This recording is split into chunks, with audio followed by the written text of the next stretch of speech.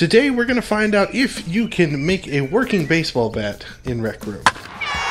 So we're going to start this off with a series of experiments as to different things that we can use that might be viable as baseball bats. But first we need a device that violently shoots balls toward me. A few moments later. Alright, we have our device here. First button will spawn in the ping pong ball, and then this button does a two second delay, but it will add an impulse to it and shoot it that way. We're just going to use the ping pong ball. Afterwards, we'll test to see if the other balls will work with it. First off, we just need to get a pole, basically.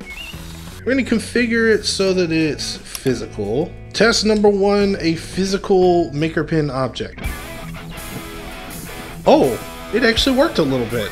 Can't tell if it's my hand or if it's the actual thing that's doing it. I didn't expect it. kind of surprised me when it actually did something. Okay, so basically the idea I had to make a more effective bat. I was thinking that for sure, because we know that ping pong balls will interact with a ping pong paddle and maybe a regular paddle. But what I wanted to do was basically make a long kind of line of these so that you could use that as a bat. Alright. Oh my gosh. Ah! Where the hell did it go? Alright. Don't freak out on me. Ah! Ah! Ah! ah! Okay. Alright, test one. Oh, wow, dude. That works so good.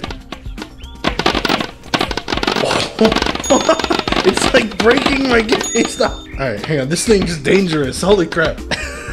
That was unexpected. So that kind of works, but I want to try it with the ping pong paddles because that was the original idea I had.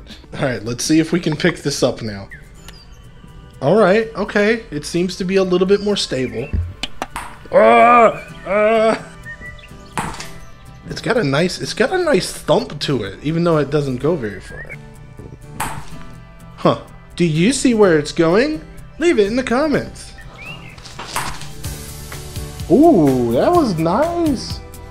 That was nice. So there's one last part of this I want to try. Let's do dodgeball, basketball, ball and ball we can leave out. All right, here we go.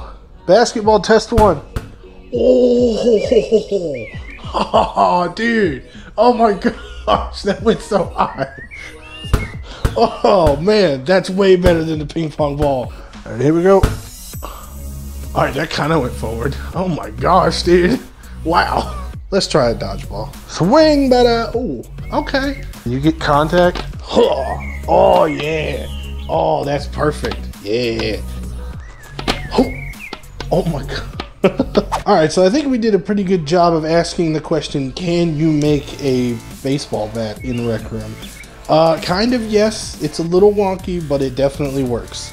I will leave this and the racquetball one as inventions in the invention store if you want to test them out and play around with them yourself. If you did like the video, make sure to throw a like on it, subscribe, all that good stuff. Have a good day, everybody. RCL Man out.